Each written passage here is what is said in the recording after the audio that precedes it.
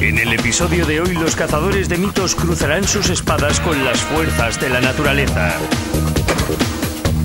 Y vivirán para lamentarlo, comprobando que hay de cierto en una vieja frase hecha. ¿Me vas a disparar? Resucitando muertos. ¡Vive! Porque ¿será tan fácil disparar a un pez en un barril como reza un viejo dicho? Kelly, Grant y Tori arriesgarán sus estómagos, incluso sus vidas, para encontrar una cura para un atracón de chiles. ¡Mi boca está en llamas! Luego veremos si un ratoncito puede realmente aterrorizar a un paquidermo. Verá al roedor y huirá despavorido. ¿Quiénes son los cazadores de mitos? Adam Savage ¡Impresionante! y Jamie Heinemann. Arre. Entre ambos suman más de 30 años de experiencia en efectos especiales. ¡Levántate, hijo! Junto a ellos, Grant y Mahara, roja! Tori Belechi Esto se pone peligroso, como a nosotros nos gusta. y Kerry Byron. ¡Qué estropicio! No solo recopilan mitos, Se palpa la presión. también los ponen a prueba. Los cazadores de mitos. ¿De veras es tan fácil como se dice dispararle a un pez en un barril? ¿Qué tenemos? Un proverbio, un adagio, un giro. Bien, ¿de qué tipo? ¿De qué especie? ¿De qué género? Una pista. Te digo cómo empieza. Es más fácil que... Que la tabla del uno. No, error. Que robarle un caramelo a un niño. Nunca lo he intentado, pero tampoco. Ya sé. Que disparar a un pez en un barril. Eso. Bien. Y si quieres luego probamos lo de robar un caramelo a un niño. Si te empeñas. Adam y Jimmy no serían los primeros en destruir un inocente barril. Pero sí quizá en disparar en uno de ellos a un indefenso pez. El experimento en este caso no puede ser más sencillo, pero no podemos utilizar un pez vivo. Aquí nunca hemos maltratado ni vamos a maltratar animales. Bueno, pero lo que sí podemos hacer es utilizar un ejemplar muerto de una pescadería y devolverlo a la vida. Resucitarlo a mi manera. Vale, es un buen plan, aunque macabro. En la pescadería, Adam se siente casi al instante como pez fuera del agua. Lo suyo son más las varitas de merluza. Mira, mira, mira. Aquí tiene una abertura donde puedes meter la mano y calentarla como si fuera un guante. Primero hay que seleccionar a una especie de las que mejor representen a la media de los vertebrados acuáticos. Mira, este es precioso. ¿Cómo estás, Jamie? ¿Vas a pegarme un tiro? Yo una vez hice para el cine eso mismo que estás tú haciendo ahora. ¿Sí? ¿Sí? Con una trucha. Una trucha. Sí, una enorme. Sea una trucha o lo que quiera que utilicen para este experimento, Adam y Jamie se proponen insertar un motor en sus entrañas para que parezca viva. Al menos ese es su plan. Nos llevamos peces chiquititos, otros ni chicos ni grandes, de tamaño medio y este pedazo de ejemplar. Con esto debería ser lo suficiente para saber si es o no fácil dispararle a un pez en un barril. Una vez en el cuartel general, Jamie modifica un motor eléctrico para reanimar su captura del día. Le he colocado una manivela excéntrica, un trozo de cuerda de piano atravesándola y luego una pieza de latón soldada sobre el centro. Para acabar de crear su frankensteiniana criatura, Jamie tiene ahora que reemplazar sus entrañas por componentes electrónicos. Ahora tengo que instalar piezas mecánicas donde antes había órganos vitales y comprobar si funciona. Es muy probable que las baterías carezcan de fuerza para imprimir movimiento a este pez ciborgánico, pero quizá el entusiasmo de Adam transmita esa fuerza vital. Es perfecto, ha recobrado la función natatoria. Le falta flotabilidad. Pero nada, y eso es mucho. Eso sí, nadar sí que nada. Como cuando muere un pez, su vejiga natatoria no funciona ya. Jamie ha añadido a este un tubo de plástico flotante. Lo tenemos casi todo listo, incluida una cámara blindada alrededor del barril. Estoy a punto de sumergir en el agua al Frankenspez de Jamie. Él se subirá a una escalera con una pistola de 9 milímetros con la que disparará al pequeño Frankie. Vamos a dispararle a un pez en un barril por vez primera en televisión. Y allá va con su 9 milímetros el punterioso Jamie. Apunta y abre fuego. Ha perforado el barril, pero lo que es aún peor, ha errado el blanco. El exped no presenta lesiones post-mortem. ¿Ves orificios de bala? Yo no veo ninguno. No. Y ha seguido nadando. Ha seguido nadando, de modo que no hay impacto en el torso. Y téngase bien presente que un pez es casi todo torso. Lo que ha quedado claro es que Frankenspez es un campeón, pero yo no, al menos no de tiro. Quizá he fallado porque el agua estaba turbia, había poca luz y muchos tropiezos en el caldo. Nuestro Frankie ha esquivado una bala disparada prácticamente a bocajarro. Dirán que esto es lo más fácil del mundo, pero Jamie ha fallado estrepitosamente. Aunque Adam está dispuesto a todo para facilitarle las cosas. Con una capa de pintura blanca y dos ventanas, Jamie y la cámara lo tendrán teóricamente bastante más fácil. Necesitamos saber qué ocurre exactamente aquí dentro. Por eso, para nuestra comodidad y la de la cámara, he recortado dos ventanas. Esto es el fondo. Estoy asomado al fondo del barril y también vamos a poder fisgar por los lados. Lo que parecía tan fácil, de fácil no tiene nada.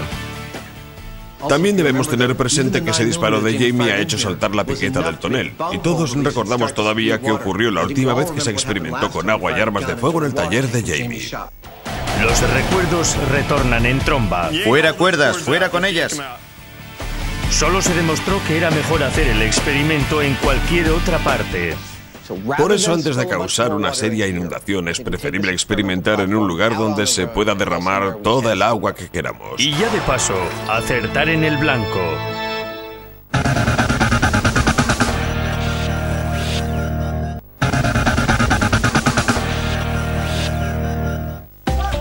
¿Cómo aplacar el ardor de una boca llena de chiles picantes?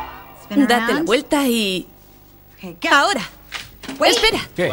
Mejor así. Así. Ya. Eh, chicos, ¿se puede saber qué hacéis? ¿Te gusta el picante? No, lo odio. Aún así, ¿qué tiene que ver eso con una piñata? Nada, pero nuestros fans quieren conocer los mejores remedios contra el picor de los chiles. Todos lo hemos hecho, todos lo hemos lamentado y todos, sin embargo, lo volvemos a hacer. Pero ¿cuál es el mejor remedio contra una mortífera dosis de chiles picantes?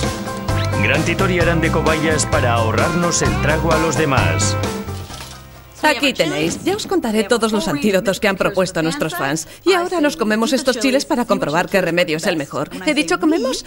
Perdón, quería decir coméis. Yo dirijo el experimento. Todo el mundo sabe que lo que mejor calma el picor del chile es la leche.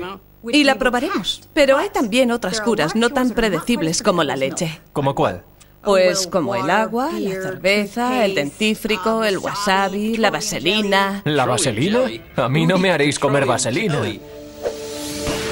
En toda guerra es mejor conocer al enemigo. Dave Dewitt ha escrito más de 30 libros sobre alimentos picantes. Luego, conoce bien el percal. Todo es una reacción química. Lo mismo que tenemos papilas gustativas, tenemos también receptores de capsaicina, que es la sustancia picante del chile, de los pimientos. Las moléculas de capsaicina interactúan con nuestros receptores bucales, los mismos receptores que se activan cuando algo nos quema en la boca. De ahí esa sensación de quemazón que se genera en la lengua. Solo pretendemos experimentar con nosotros mismos. Por cierto, una pregunta al respecto. ¿Una ingesta de pimientos muy picantes puede llegar a causar la muerte? Sí, puede matar. Y la causa probable de la muerte sería por asfixia.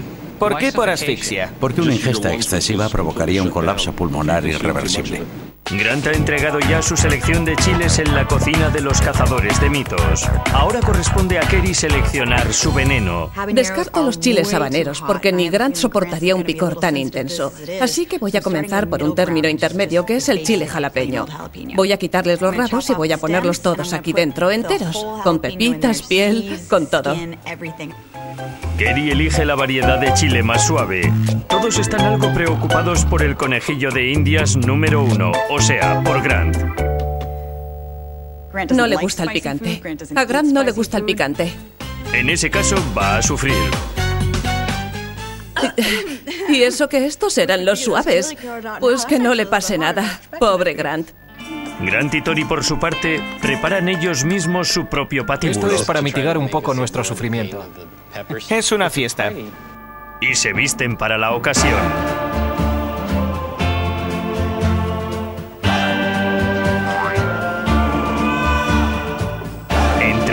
Sombreros y bandoleras, nos hallamos frente a la antesala del duelo que tendrá como protagonistas a los malos.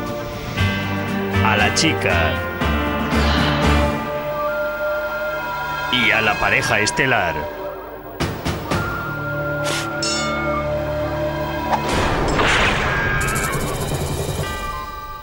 Adelante. Ven a por él.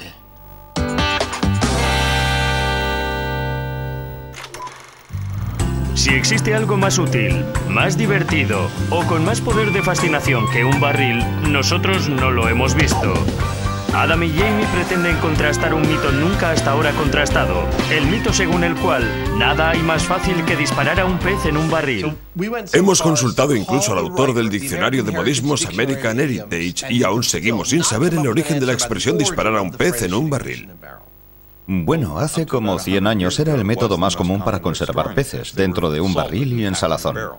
Pero no hay ningún dato documentado que aclare si se trata de disparar a un barril repleto de peces o de disparar a un solo pez vivo dentro de un barril lleno de agua. Seguimos sin despejar esa incógnita.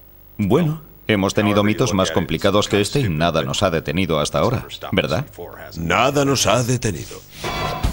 Cierto, pero tras una primera prueba fallida, la segunda se va a hacer en exteriores para un mejor y más concluyente resultado.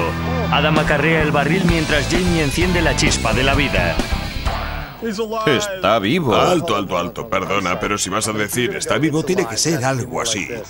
¡Está vivo! ¿Así podrás hacerlo? Venga, inténtalo. No. Los dos a la Ya he dicho mi frase. Un, dos, tres. Venga. Te he dicho que no. Ya. Vale. Adam pone el entusiasmo, pero el arma la tiene Jamie. ¿Darán a Jamie una ventana y un poco de pintura fresca poder sobre un pez ya fallecido? Esto es el colmo del absurdo. Jamie se sabe el guion, pero ¿estará lo bastante motivado?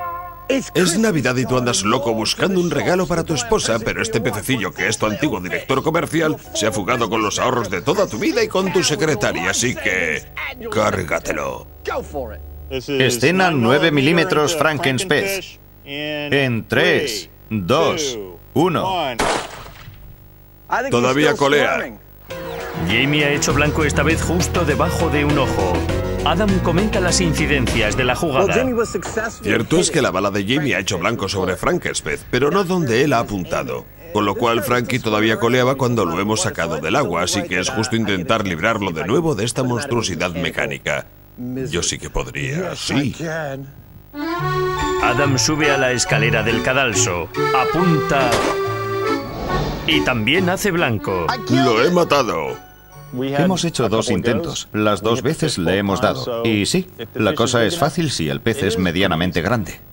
Pero ¿y si es mucho, pero mucho más pequeño? Como el mito no explicita su volumen, Adam ha optado en esta ocasión por peces de tamaño cebo. Es un arbolillo de Navidad. Y sería de cajón que el arma también fuese de un tamaño acorde. Esta vez dispararé contra un banco de pececillos con un arma considerablemente más grande. Tengo nueve proyectiles de muy superior calibre y si afino mi puntería haré nueve blancos. Adam cuelga seis alambres de su árbol de Navidad en el borde del barril. Y Jamie vuelve a la carga con su arma pisticida. Tres, dos, uno. A mí no me ha caído ni gota. ¿Y a ti? ¿Y qué es mejor, Adam? ¿No mojarte tú o que se moje este material que cuesta un riñón? Bien, pasamos a la evaluación de daños de rigor. Ha llegado el momento de la mítica verdad. Increíblemente, el disparo no parece haber sido muy certero. No veo impactos en ninguno de estos ejemplares. En estos tampoco. Vaya. Por fin, un rastro de potencia destructiva.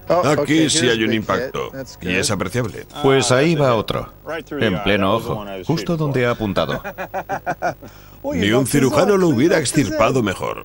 Bien, le has disparado no a uno, sino a varios peces en un barril. Y aunque con un porcentaje de éxito más bien escaso, le has acertado a más de un pez en un barril. En efecto, tres peces de 30 es un escaso porcentaje de éxito. Ahora bien, confirma o refuta un pobre 10% la proverbial frase a prueba. La verdad es que hay que decir que el resto de los peces tampoco tienen muchos motivos para estar aliviados, porque la onda expansiva hubiera acabado con ellos, de todos modos. Cierto, cierto.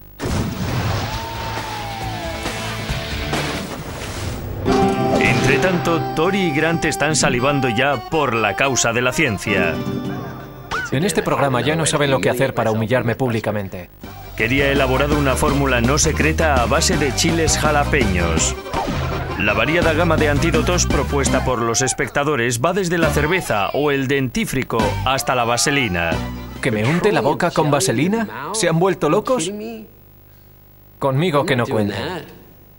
A Grant, eso es lo que menos le preocupa. Esta va a ser una situación de lo más interesante para mí, porque será lo más picante que haya comido hasta ahora en toda mi vida. Y espero que sea lo más picante que coma en lo que me queda de ella. Solamente espero que en el intento no me explote la cabeza ni nada por el estilo. ¿Que ¿Cómo reaccionará Grant? No sé, quizá ni se inmute, o quizá caiga desplomado al suelo en posición fetal y llorando como un bebé. Aseguran los que saben de chiles que nada como los lácteos para aplacar su picor. Según su teoría, la grasa de los lácteos ayuda a neutralizar los efectos de la oleosa capsaicina. Y se cree que las sustancias demasiado acuosas no sirven de nada. Así que por el momento nos quedamos con la leche. Bueno, tú dirás. Bien, vamos a comenzar con leche, con leche entera, con toda su nata. Ese va a ser nuestro primer remedio terapéutico antipicante, puesto que parece que funciona. Mantendréis los dos en la boca media cucharadita de este puré de chiles jalapeños por espacio de 10 segundos, transcurridos los cuales lo escupiréis. Escupid. Aguantaréis así 30 segundos. 10. E ingeriréis el remedio, leche.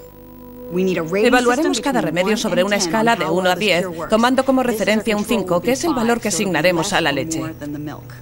Un 5 para la leche en este baremo, con independencia del grado de alivio que proporcione. Posibles remedios más paliativos obtendrán una puntuación de 6 o superior. Yo no necesito leche, he aguantado bastante bien. Pero hay un problema. Que no es tanto que Grant parezca a punto de escupir fuego, como que Tori casi casi ni se haya enterado. No sé por qué los chiles jalapeños casi ni me afectan. Será porque consumo mucha comida picante. Que, como ya sabemos, no es el caso de Grant. En lo que a la leche se refiere, ciertamente me ha aliviado. Pero un picor mayor que este en mi boca no puedo ni imaginármelo. No quisiera tener que revivir esta experiencia en todo lo que me queda de vida. Pues lo harás quieras o no. Y no una, sino varias veces. Aunque eso sí, Grant se librará de la nueva pócima de Kerry, mucho más picante, hecha con chiles habaneros. Esta es solamente para Tori. Por Dios, ¿qué es esto? Virgen Santa, parece napalm. Para situarnos, la escala Scoville de picor adjudica cero unidades al pimiento rojo común.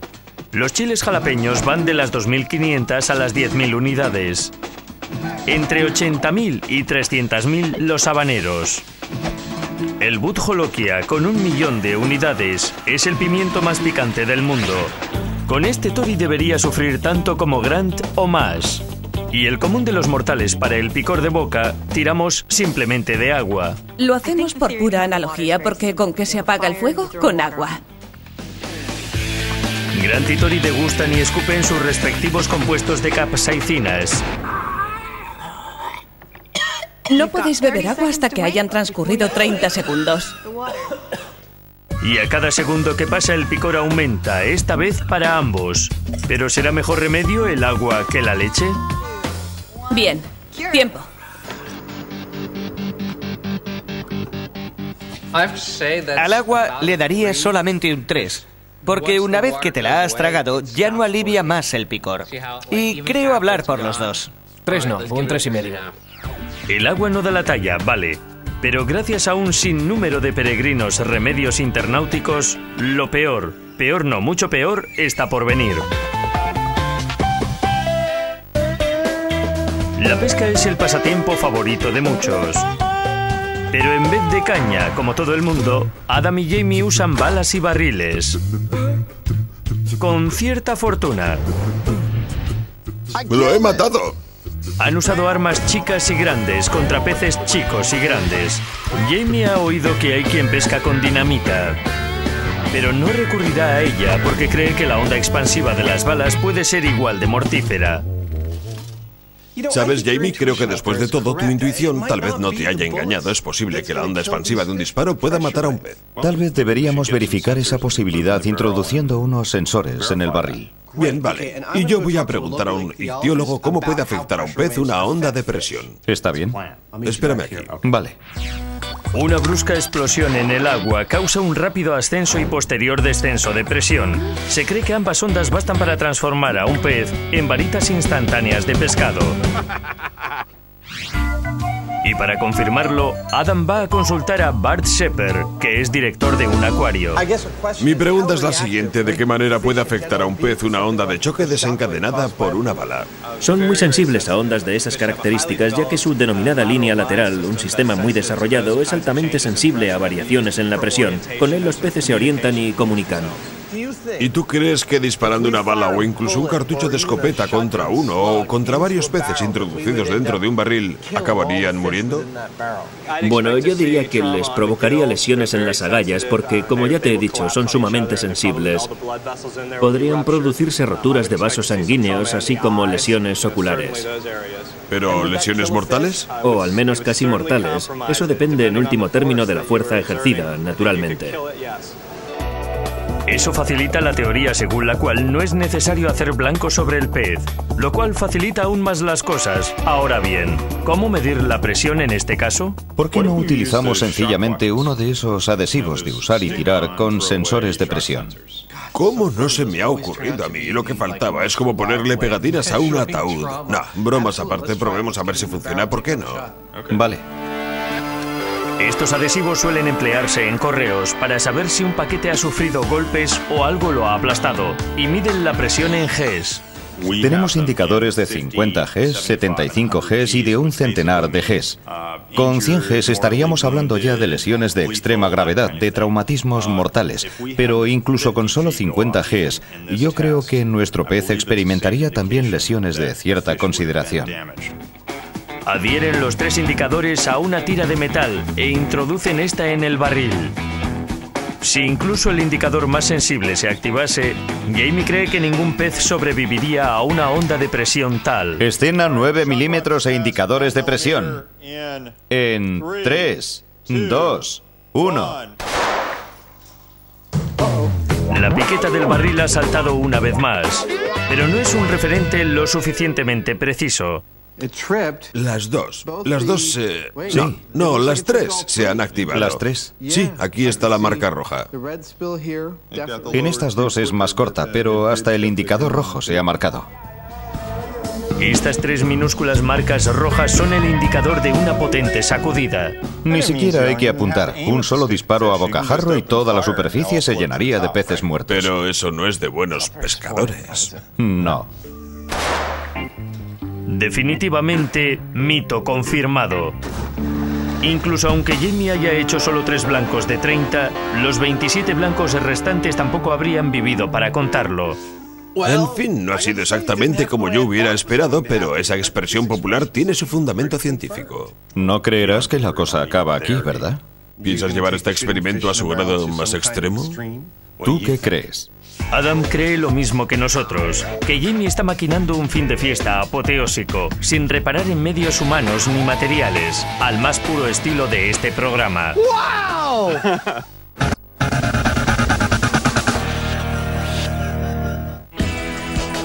Dory y Grant están probando los remedios más balsámicos contra el picor provocado por los chiles en labios y lengua. De momento saben que la leche supera al agua en eficiencia.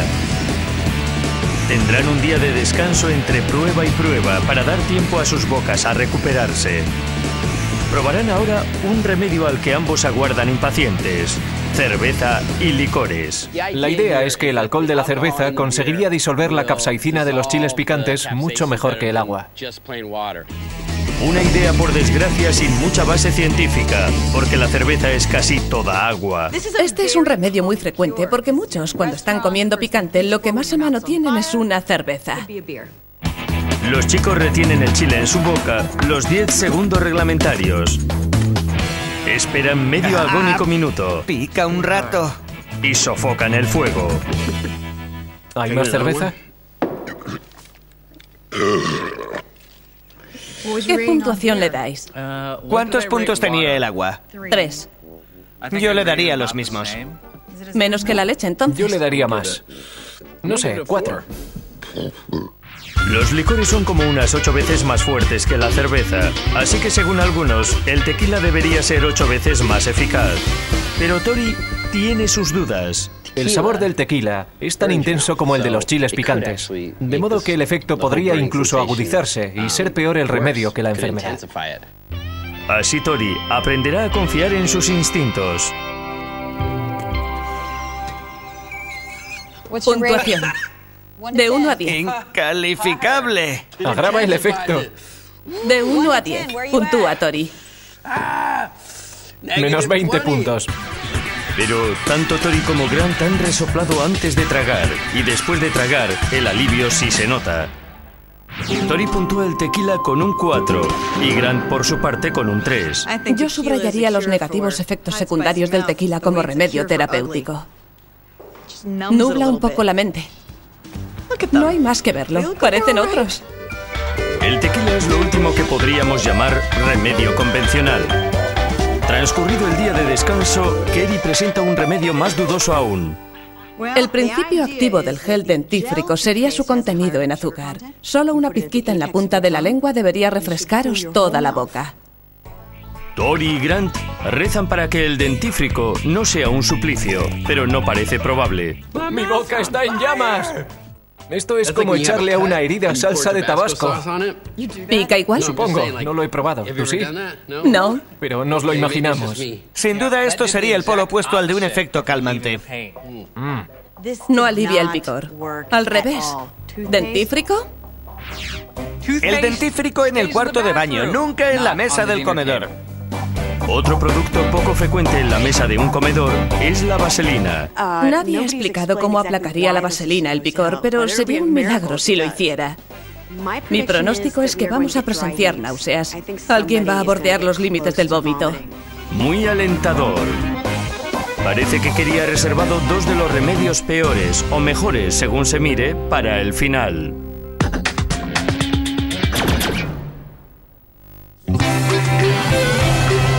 De veras los elefantes a los ratones?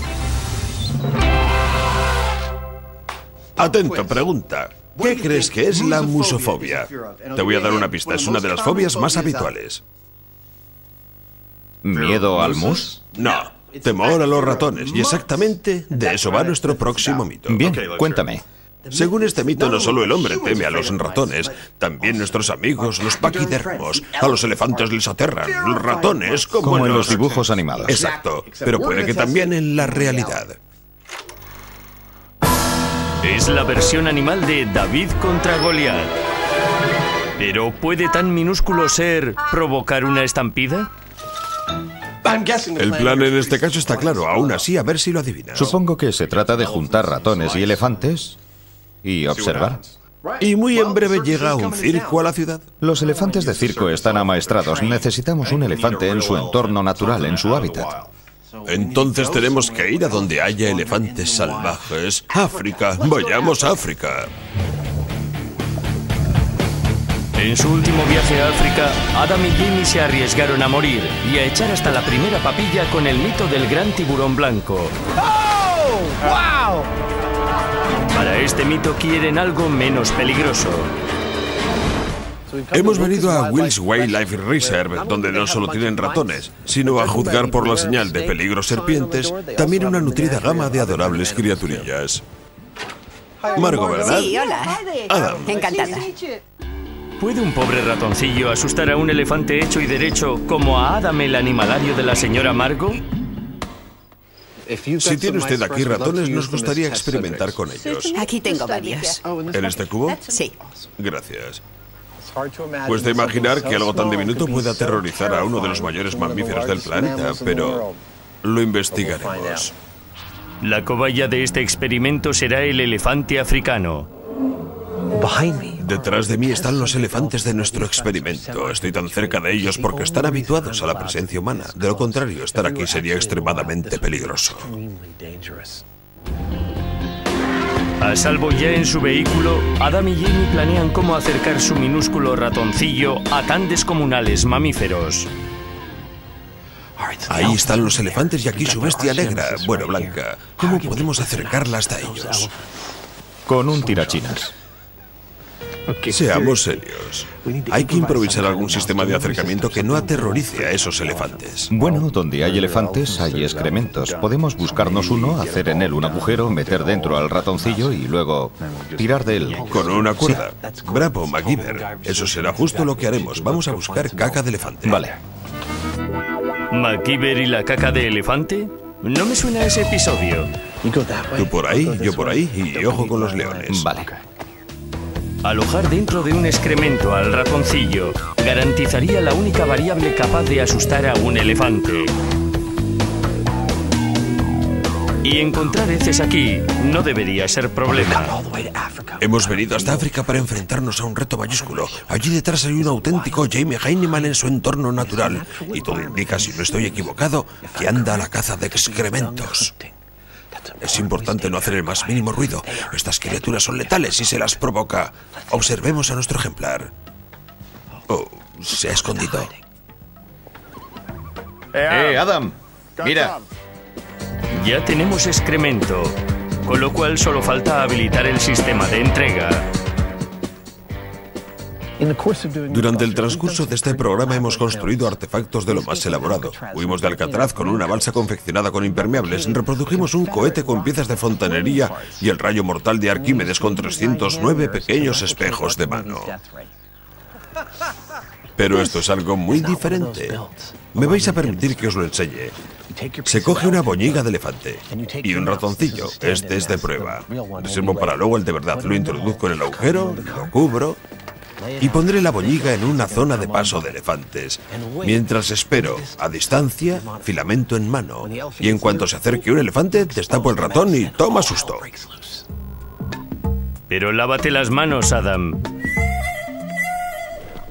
Antes de iniciar la prueba, Adam y Jamie departen sobre roedores. ¿Sabes, Adam? Me parece que esto data de los primeros tiempos de los dibujos animados, que fue, según tengo entendido, cuando se originó este mito.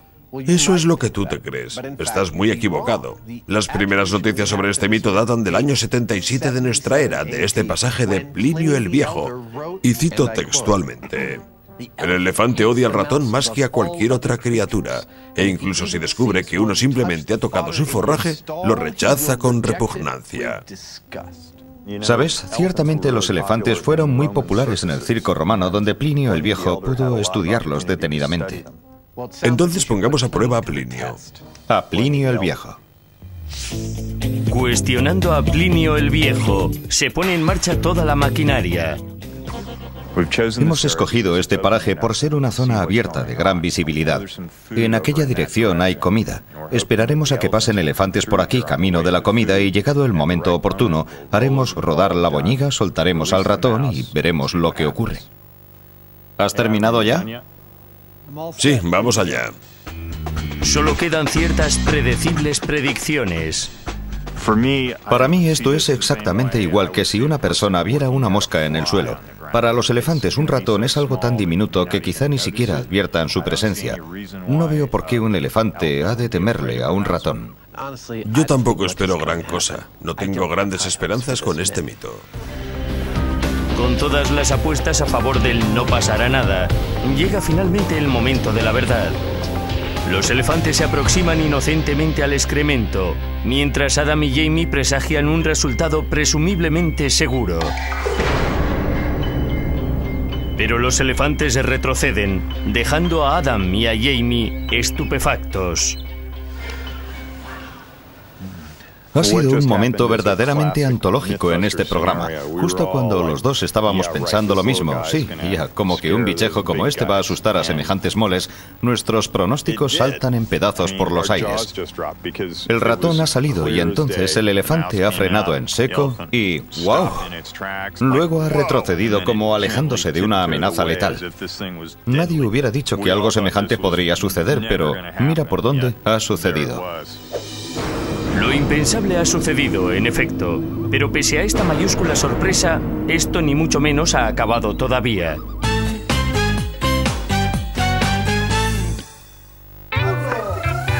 Tori y Grant han sudado la gota gorda probando diversos remedios contra el picor provocado por los chiles. Sin duda esto es el polo opuesto a un efecto calmante. Nada hasta el momento ha funcionado como la leche, y los dos últimos remedios parecen más un tormento que un alivio. Comencemos por la vaselina. En la mía hay un pelo. La vaselina tiene una base oleosa y por tanto quizá balsámica, pero hay otros factores insoslayables tales como la textura o el sabor. Esto no funciona. Qué asco. Tori da dos puntos a la vaselina, Grant solo uno, cuatro menos que la leche. Una prueba repugnante, a la altura de mis expectativas, que eran nulas. Seguimos sin fórmula mágica, a menos que el wasabi demuestre que puede combatirse el fuego con fuego. Mi pronóstico para este remedio es sufrimiento. Sufrimiento intenso. Esta prueba, a diferencia de las otras, no la harán Tori y Grant simultáneamente. Es Grant el primero en someterse a ella. ¿Qué tal tu boca? Ya ni me acuerdo del chile. Puntúa el wasabi. Mucho menos, menos. Diez. Menos un ciento. Histéricas palabras de un hombre que claramente ha rebasado sus límites. Turno ahora para tantear los de Tori. No está mal. Es como fusionar lo japonés y lo mexicano. Tori no solo otorga tres dignos puntos al wasabi, además ha disfrutado. Vaya con el wasabi. Sí, es como... Aquí sorpresa, sorpresa. Y aquí fracaso total. Mira que eres rarete. Sí, un poco sí. Consideraciones sobre tolerancia y gustos al margen. Hay algo en que Grant y Tori coinciden al 100%. Nada como la leche contra la capsaicina del chile. Por tanto, el picante mito es rotundamente falso. Adam y Jimmy acaban de presenciar el resultado más sorprendente en la historia de este programa. Parece cierto que los elefantes tienen miedo a los ratones.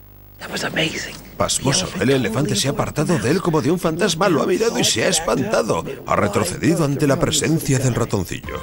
Pero habrá que superar la perplejidad para experimentar más. Vivir para ver, ¿eh? Sí, es para no creerlo, pero quizá no haya sido el ratón, sino el movimiento del excremento. ¿Qué tal si hacemos la prueba sin el ratón? Vale, guardemos a Mickey en el cubo y probemos con la boñiga vacía.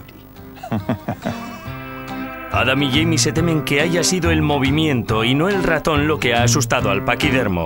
Así que esta vez, por tanto, habrá movimiento pero sin ratón. Y oh, sorpresa de nuevo, el coloso ni se inmuta. ¿Es posible este fenómeno? Parece no haber reaccionado al movimiento y creo haberlo realizado en perfecta sincronía con la prueba del ratón. A mí me ha convencido. Con esto he visto suficiente.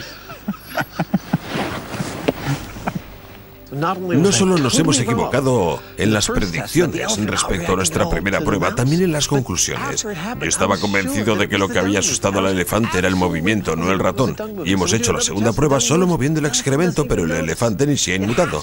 Tiene que haber sido el ratón. Ateniéndose al principio de que ciencia es insistencia, nuestros chicos reintentan la primera prueba para ver si la gran sorpresa se repite. Veamos lo que ocurre. Vale. Por segunda vez los elefantes se acercan. Y no os lo perdáis. David vuelve a asustar a Goliat. Definitivamente ha reaccionado ante el ratón con el sobresalto de la primera vez, en claro contraste con la segunda. Yo no temía en absoluto este resultado, es más, me gusta aprender de mis errores. Pero lo que me rompe completamente los esquemas es que voy a acostarme admitiendo un mito que esta mañana al levantarme no consideraba ni remotamente posible. La primera vez que oí hablar de este mito me mereció la misma consideración que ese otro que dice cuando las ranas crían pelo. Pero todos lo hemos visto. El elefante no ha huido despavorido, pero ha reaccionado con cierto sobresalto ante un ratoncillo insignificante. Es ese ápice de verdad lo que siempre buscamos, y esta vez lo hemos encontrado. No cabe la menor duda. Con el ratón sano y salvo, a pesar de Adam, y los elefantes cada uno ya a lo suyo, es hora de calificar el mito. ¿Cómo calificamos el mito?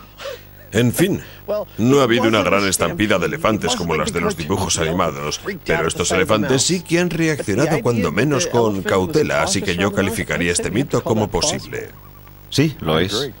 ¿Algo que añadir? Hola. Gracias, David. Mito posible.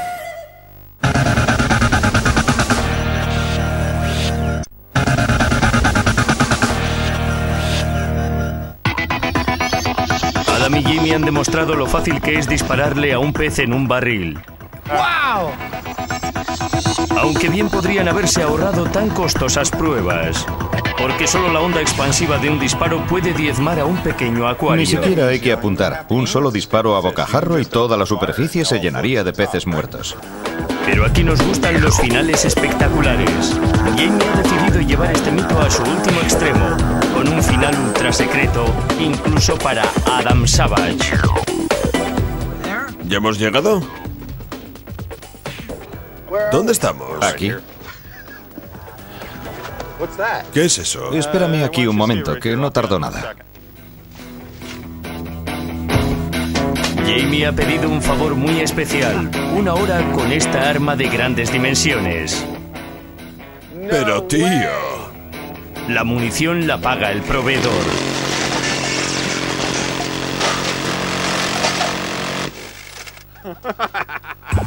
Y menos mal. Este arma de asalto de última generación dispara 3.000 proyectiles por minuto, o sea, 50 cada segundo. Yo no soy de la policía científica, pero tengo la firme convicción de que hay un individuo fuertemente armado en las inmediaciones. Madre mía. Lo peor está detrás. Casi lo partes en dos. Serás bruto. Esta vez Jamie, el barril lo quería de metal. Parece un visillo de encaje. ¿Traemos el pez? Sí, y de paso otro barril. Vamos. ¿Te pagan por horas? Date prisa. Cállate. O le disparo al barril contigo encima. Adam acondiciona el barril con singular entusiasmo. Jamie pone la víctima, una corvina de un metro de longitud recién traída de la pescadería. Ya tenemos barril nuevo, un pez de marca mayor y el arma más grande que se ha visto en este programa.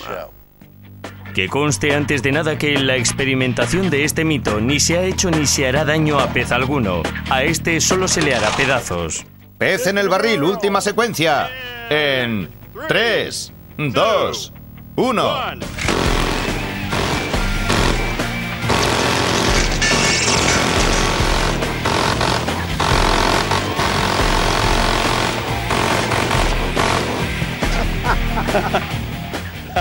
¿Qué me dices? ¿Que quiero más? ¿Más? Otra ráfaga. ¿Quieres otra? Otra, sí. ¿Y vosotros también? ¿Vosotros los de casa queréis más? Sí, en casa también quieren más. De acuerdo, pues allá va. ¡Fuego! Los barriles tradicionales aguantan lo que les echen. O casi todo, deberíamos decir.